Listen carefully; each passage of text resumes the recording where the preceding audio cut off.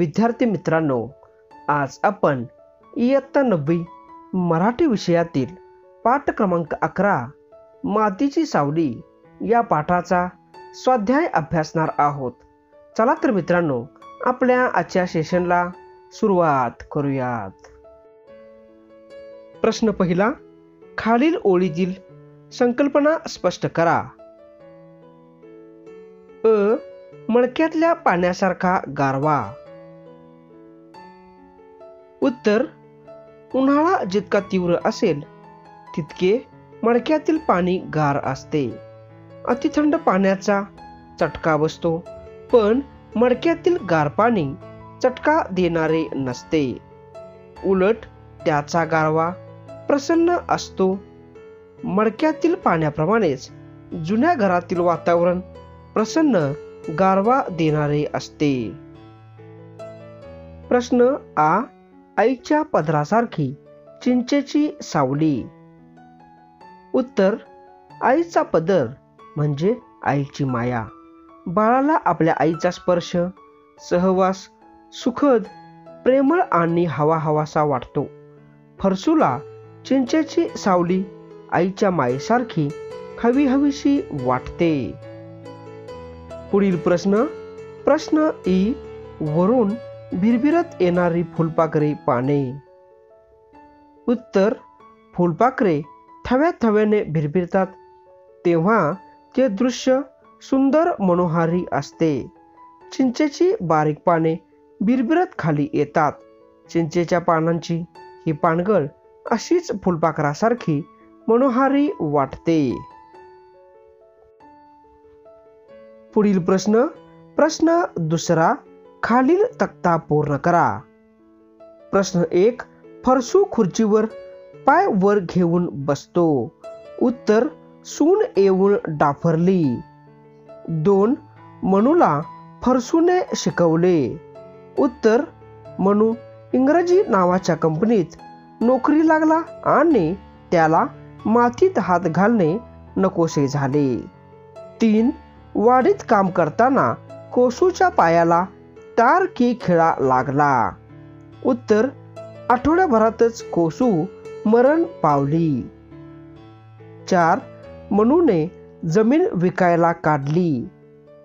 उत्तर फरसूने बैलासारखी मान डोलावली. पुढील प्रश्न प्रश्न तिसरा आकृती पूर्ण करा. प्रश्न अ फरसूचा वैज्ञानिक दृष्टिकोन स्पष्ट करणाऱ्या कृती. उत्तर एक चिंचेच्या पाल्यापासून खत निर्मिती. दोन चिंचेची पाने जमा करून तो शेतात पसरायचा. तीन भात पिकानंतर वांगी दुधी कारली या भाज्यांचे दुबार पीक घ्यायचा. आणि चार वडिलोपार्जित झाडांची निगा व त्याचे संवर्धन. पुढील प्रश्न प्रश्न आ पाठाच्या आधारे फरसूचे खालील मुद्द्यांच्या आधारे वर्णन करा. प्रश्न छंद. उत्तर फरसू निरागस आयुष्य जगणारा सामान्य शेतकरी होता. घराच्या पायरीवर बसून फुलपाखरासारखी भिरभिरत येणारी चिंचेची पाने पाहणे झाडावर चढणाऱ्या खारी पाहणे हा त्याचा आवडता छंद होता.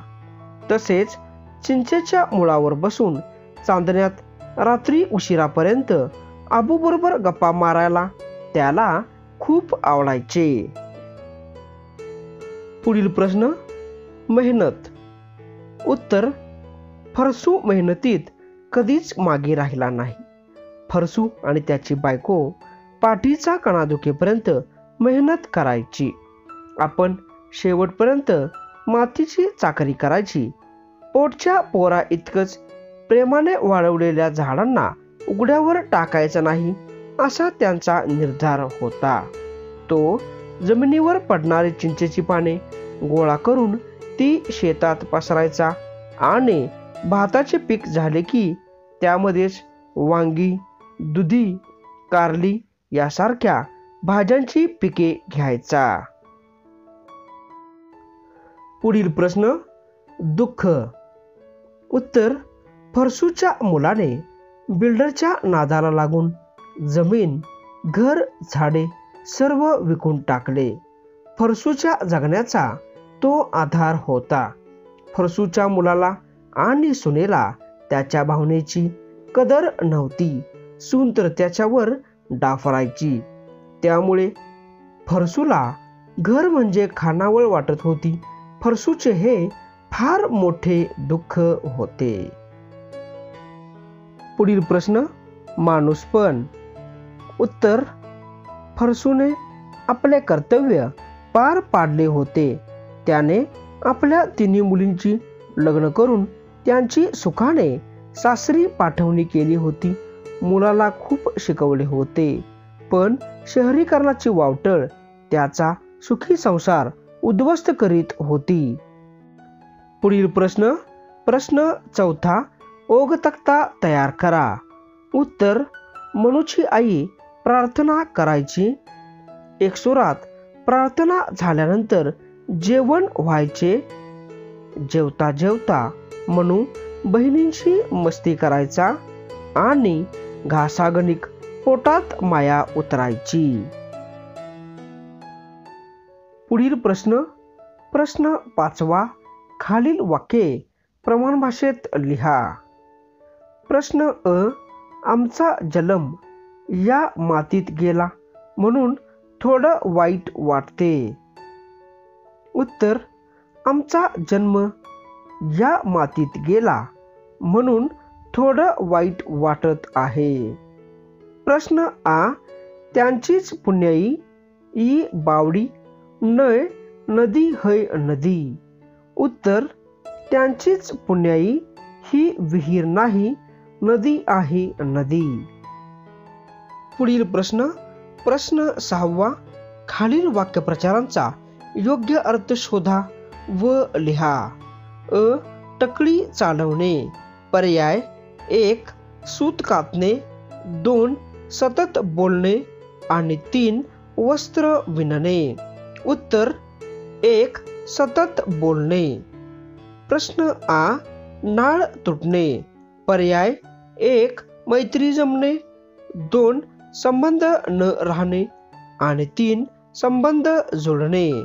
उत्तर संबंध न राहणे. पुढील प्रश्न प्रश्न सातवा खालील अर्थांची वाक्ये पाठातून शोधून लिहा. अ फरसुने आपल्या वडिलांचे ऋण व्यक्त केले. उत्तर बापजात्यांची कमाई रे पोरांनो. प्रश्न आ फरसूचा संसार होत्याचा नव्हता झाला. उत्तर तरारून वाढलेल्या गुबगुबीत केळीचे अख्ख बन एका पाऊसवाऱ्यात जमिनीवर झोपावं तसा आपला संसार होत्याचा नव्हता झाला. पुढील प्रश्न प्रश्न ई फरसूचे झाडाबाबतचे प्रेम. उत्तर पोटच्या पोरा इतक्याच प्रेमाने वाढवलेल्या. झाडा पानांना जीव जायस्तोवर उघड्यावर टाकायचं नाही हा त्याचा निश्चय होता. पुढील प्रश्न प्रश्न आठवा सोमत. प्रश्न अ मातीशी नाळ तुटली की माणूस पण तरी कसं राहणार? या फरसूच्या विधानाशी तुम्ही सहमत असल्यास त्याची कारणे सोदाहरण लिहा. उत्तर मातीशी नाळ तुटली की माणूस पण तरी कसे राहणार? या फरसूच्या विधानाशी मी पूर्णपणे सहमत आहे. शहरीकरणामुळे माणूस निसर्गापासून दूर जात आहे. माणसाचे जगणे अधिकाधिक कृत्रिमतेकडे जात आहे आणि त्यामुळेच माणसाची मातीशी असणारी नाळ ही तुटलेली आहे. त्यामुळे माणसाला मातीबद्दल मातीशी संबंधित माणसाबद्दल प्रेम जिव्हाळा आपुलकी राहत नाही. त्यामुळे साहजिकच आपण माणूस पण गमावत आहोत. हा मातीशी नाळ तुटण्याचा परिणाम आहे. पुढील प्रश्न प्रश्न आ पाठात व्यक्त झालेल्या फरसूच्या विचाराबाबत तुमचे मत स्पष्ट करा. उत्तर फरसू हा निरागस आयुष्य जगणारा गरीब शेतकरी होता. तो कधीच मेहनतीत मागे राहिला नाही. मातीशी नाते असण्यातच माणूस पण असते अशी त्याची श्रद्धा होती. शेवटच्या श्वासापर्यंत मातीचीच चाकरी करायची आणि झाडाझुडपांना कधीही उघड्यावर टाकायचे नाही. हा त्याचा निर्धार होता. मला हा विचार खूप महत्त्वाचा वाटतो. पण अलीकडे शिक्षणाचा प्रसार झाल्यापासून माणूस निसर्गाला सोडून कृत्रिमतेकडे जात आहे. आणि शेतीपासून जमिनीपासून माणसे दूर गेल्यामुळे ती निसर्गापासून सुद्धा तुटली आहेत. त्यामुळे मनुष्य जीवन धोक्यात येत आहे. यातून बाहेर पडायचे असेल तर फरसूचा दृष्टिकोन अंगीकारला पाहिजे. पुढील प्रश्न प्रश्न ई मातीची सावली या पाठाच्या शीर्षकाची समर्पकता तुमच्या शब्दात लिहा. उत्तर फरसू हा निरागस आयुष्य जगणारा सामान्य शेतकरी होता. शेवटच्या श्वासापर्यंत मातीची चाकरी करायची झाडा झुडपांना उघड्यावर टाकायचे नाही हा त्याचा निर्धार होता. पण त्याच्या मुलाने बिल्डरच्या नादाला लागून जमीन घर व झाडे सर्व विकून टाकले. त्यामुळे फरसूच्या दीड एकर जमिनीवर उभी राहणारी उंच इमारत म्हणजे एखादा अकरा विकराळ राक्षस आहे असे फरसूला भासते. त्या इमारतीची सावली त्याच्या संपूर्ण जमिनीवर पसरली आहे. जणू त्या सावलीने त्याची जमीन त्याचे संपूर्ण जीवन गिळंकृत केले आहे असे त्याला वाटत राहते. म्हणून या पाठाचे मातीची सावली हे शीर्षक अतिशय समर्पक आहे.